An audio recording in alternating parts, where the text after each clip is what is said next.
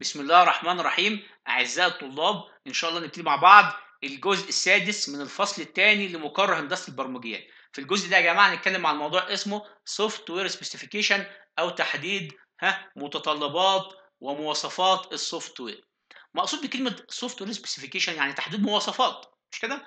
والمقصود به هنا إيه يا جماعة؟ مقصود به هل ها تحققت متطلبات ال customer أو العميل في البرنامج؟ ده السؤال. طيب أكيد لها إجراءات ولها إيه عمليات بتتم. بنسمي العمليات ديت بين إيه؟ العمليات requirements engineering process. يعني إيه؟ المتطلبات العملية أو المتطلبات الهندسية. بناء على عدد من الخطوات أقدر أحدد أقدر أحدد الإيه؟ ها أيوه فعلا. أقدر أحدد الريكويرمنتس تحققت أم لا. معايا؟ طيب إيه هي الإجراءات اللي بتتم عشان أعرف الايه متطلبات العميل تحققت في البرنامج ولا لأ؟ بنقول أول حاجة feasibility study اللي هي دراسة الجدوى اللي هي الدراسة المالية للبرنامج. البرنامج ده هيتكلف قد إيه؟ دي أول حاجة بتتم.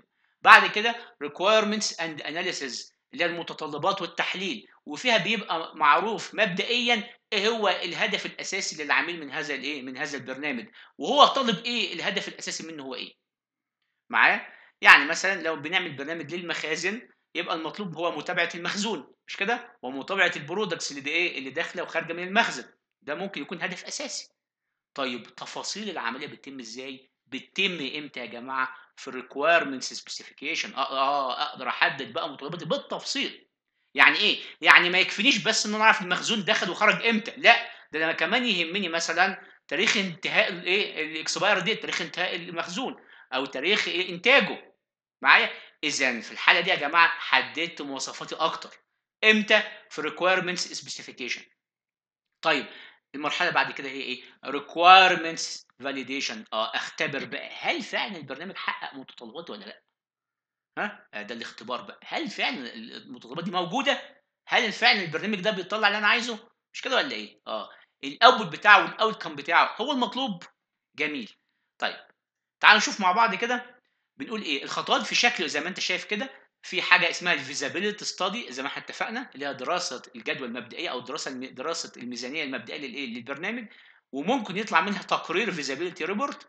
وفي كمان عندي اللي هو المرحلة اللي بعدها requirements analysis إذا الكلام اللي أنا قلته دلوقتي بقوله بس بشكل قدامك أهو. مش كده؟ آه. requirements and analysis وممكن يخرج منها نموذج للنظام نموذج مبدئي مبدئي للنظام. يعني تخيل تصور مبدئي للنظام. جميل. وبعد كده requirements specification تحديد المواصفات ومنها ها بيتحدد إيه مواصفات كل من المستخدم والنظام نفسه متطلباته. طبعا كلمة user and system requirements دي كلمة إيه, إيه هنقولها بعدين بالتفصيل. معايا؟ بس خلي بالك دلوقتي إن في بعد عملية ال requirements specification أقدر أحدد ال user وال system requirements طيب وآخر حاجة إحنا قلنا إيه؟ requirements validation ومنها بقدر أختبر هل تحققت المتطل- المتطلبات النظام ها ولا لأ. وهل فعلا المتطلب لل customer اللي هو محتاجه موجودة في النظام ولا لأ؟ جميل. طب في الآخر يا جماعة خالص ممكن أعمل بقى حاجة اسمها requirements document أعمل توثيق بقى توثيق أكتب كل اللي حصل بالظبط وإيه المتطلبات اللي موجودة عندي وإيه المتطلبات اللي اتنفذت وإيه المتطلبات اللي لسه لم تنفذ.